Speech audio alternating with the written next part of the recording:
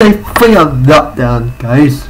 I'm surviving good, but I think today we'll get a lockdown over by COVID. I think your lockdown's doing good or bad today.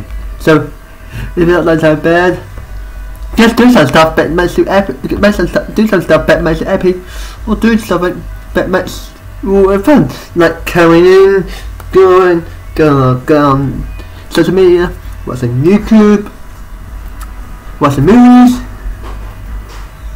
or go outside and run around my backyard, or stay inside where it's pretty cozy, and that's all I can give advice I can give you. I have a safe lockdown. I feel love you. Tomorrow, break COVID. Go away, COVID.